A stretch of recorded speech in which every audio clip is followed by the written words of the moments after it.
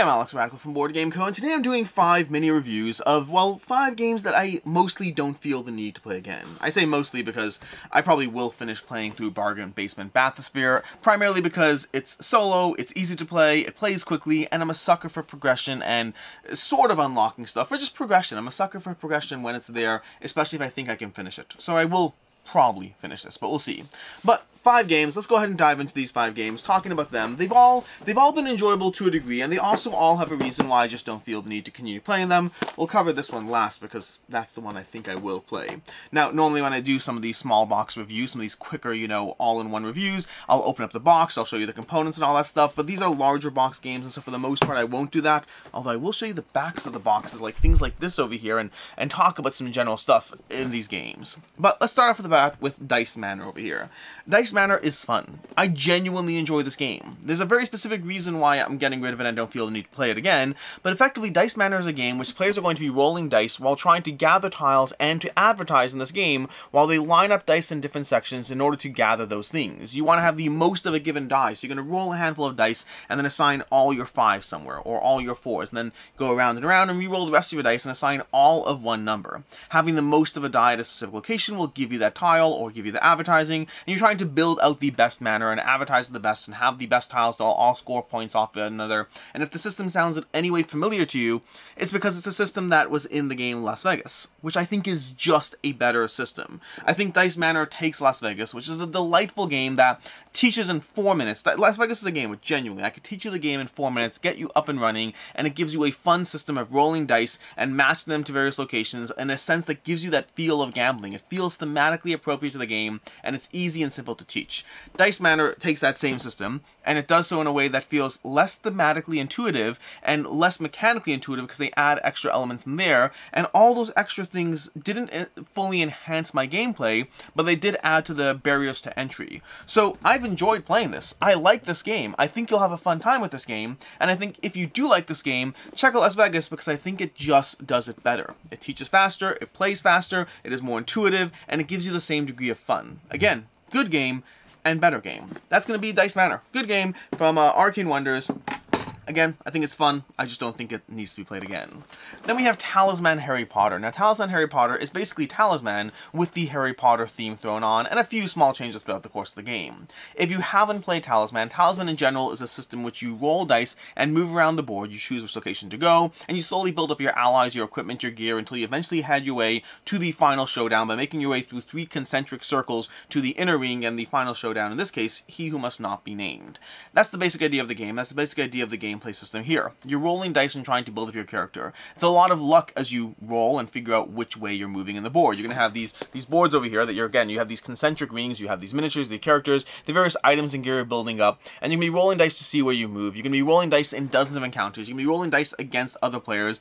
It's just a whole lot of dice rolling while you build up your characters. Now, I didn't love the original Talisman. I thought it was a fine experience that was enjoyable to play through, but way too long for what I got out of the experience, and I don't think this changed my mind at all. I like the Harry Potter IP. I do. I enjoy, you know, going through the universe and collecting various gear and equipment and having various, uh, you know, fighting against or with other characters in that universe. And so, would I prefer to play Talisman Harry Potter over the original Talisman? Marginally yes, especially with playing it if playing this with my kids, but past that, I think both systems suffer from the same problem. A ton of dice rolling, not a lot of agency, a degree of progression that is fun and enjoyable, but not compelling enough for the rules complexity and game length that are present.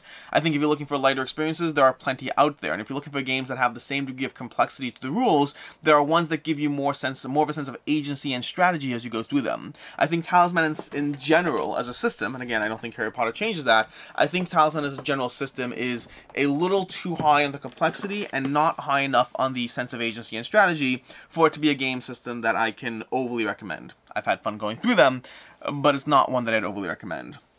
From there we have Sorcerer's Arena, which is actually one of the better games on this list. Sorcerer's Arena gives you a skirmish game with Sorcerer, with Disney IP characters. We have another Disney system going on here. You're going to have Disney IP characters with gorgeous Disney acrylic standees as you wander around the board and as you use your characters and combine your characters in the specific playstyles to take down your enemies.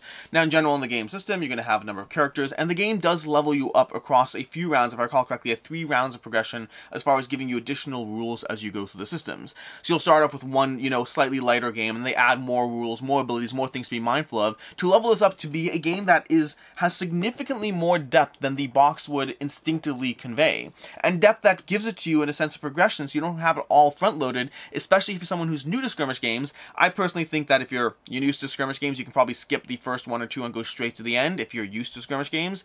But for players who aren't, and inherently given the IP, there will be lots of players who dive into this because of the IP and that sense of slower progression, or because of the app for that matter. I believe this is an app as well, Sorcerer's Arena. And so there will be people who dive into this progressively but it gives you a solid skirmish game that the earlier systems are a little light, the later systems are better, and it does have some of the same problems you typically see in skirmish games in which, you know, players are slowly, you know, the first few turns are kind of wasted just dancing towards the middle so you can attack each other and eventually hit each other. But then at that point, the, the game does level up in terms of the complexity and depth. The complexity and depth really starts shining once you have multiple characters in play and the full rule set. Uh, smaller character counts and the earlier rule set are kind of just, you know, playing cards back and forth until someone dies. It doesn't feel that strategic. As you add things, there's a degree of depth and complexity combined with an IP that is enjoyable, all wrapped up in a box that is fun. It's a fun game. I like the game. I also just have other skirmish games that I prefer, and I think that the way the rules are structured, first of all, does make referencing rules harder. In general, I've talked about this before, whenever you have a game system that kind of levels you up through the game, that's usually great for introducing people to the game, but it's usually a trade-off that comes, that you pay the price for when you're trying to reference how to play the game if they don't handle that well. If you're looking for rules references, you kind of have to figure out which section do they teach that rule in. It's not as intuitive to check things up later. That's kind of a smaller nitpick, but past that, I think that as a skirmish game, this one is more focused on taking down the other characters, which is not my go-to preference for skirmish games.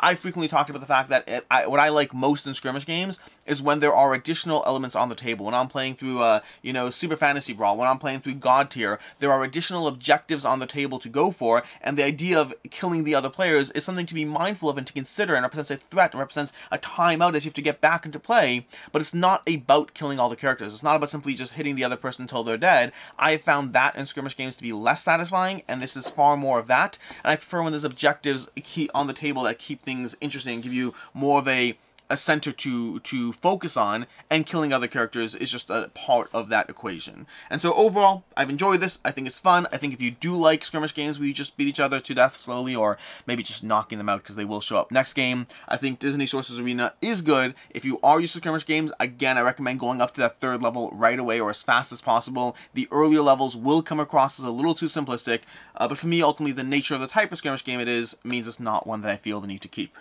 Then there we have Enola Holmes, a Keeper of Lost, Finder of Lost Souls. Not Keeper of Lost Souls, that's far darker. Finder of Lost Souls. This is obviously based on the Enola Holmes, uh, you know, Netflix movie. Uh, I think that, I think based on the first one. Not actually sure. I didn't really heavily think about whether it's based on the first or the second. But either way, Enola Holmes, and this is kind of how to describe this. This is a, a, dash of mastermind mixed in with like set collection and getting in each other's ways. In this game, you're going to be taking control of characters, you're going to be various locations, and the goal is to match symbols in the game. You have these various symbols, you can't see them that well on the board over here. Beginning of a board, you're trying to match these symbols, and you're trying to get in each other's way by you have two sides to the game. You have the, the mastermind, so to speak, facing off against the various characters. You can play it as a one versus one, you can play it as a one versus many, but effectively you're going to have the mastermind trying to get in the way of the other characters by blocking them, by playing symbols that get in their way, and then you have to counter by playing symbols back, and then eventually that kind of results in a bit of a mastermind experience where you start slowly guessing the various symbols and icons in play, and you try making educated guesses, and you're informed to a degree what's right and wrong. So there's two elements going on, a little bit of worker placement, a little bit, three elements I guess, worker placement, uh, set collection, and back and forth blocking of symbols, and then mastermind style guessing. I like the mastermind style guessing. I like that in any system that has it, where you kind of have to start you know, using the piece of information at your disposal to try to craft a, you know, what is the actual answer. I found the back and forth aspect of symbol matching and, you know, matching and blocking in the symbols as you play these cards down, I found that to feel kind of just tedious. It didn't feel overly rewarding. There is strategy to it. There's I'm not heavily going to exactly how it plays out. There is strategy, there is decision making, but it kind of felt like I do this thing to to get the job done and you kind of block me and then I either am able to get past your blocks or not. As a system, it, it kind of just felt like it was present in the game without being overly rewarding. The rest of the game's fine. It's a decent game as far as, you know, uh, again, the, the, the strategy and get involved in trying to get the right symbols you need in order to make those guesses and to ultimately win. Overall, it's a fine system, but elements of the game just felt too tedious and in each other's faces to be overly rewarding, at least for me.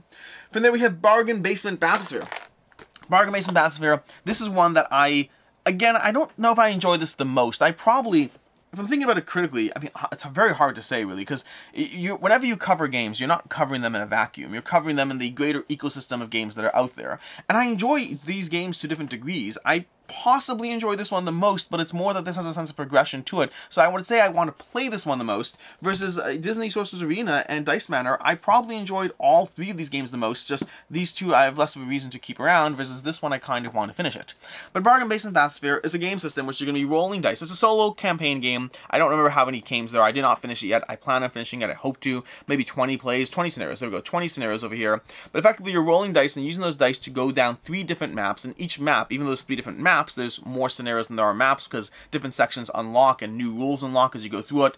But the general idea is you're rolling dice to try to figure out how to navigate around the board in a way that doesn't result in you running out of resources or air or any of the issues. So it's how you place the dice and which spots you land on and how you're mindful of the various uh, symbols in your way that you need to take care of. And then past that, each map gives you a bit of an objective, what you're trying to do, what you're trying to collect, as various sections of each board open up. And there's a degree of progression as across, you know, I, I don't know exactly where it ends, but there's a degree of like new things are unlocked for the first like five or six games as you go through it in the game. Basically, roll a handful of dice and try to figure out how to move around the underwater ocean and bargain basement bathysphere in this roll and write adventure. And I enjoy it. I don't think it's uh, amazingly compelling. I don't find the particular dice allocation strategy to be that much of a reward, but I like the system of, hey, I'm going to play another game. It'll take me 15 minutes. So I'll roll a bunch of dice, I'll move around, and I'll try to get the points I need to score to complete the scenario.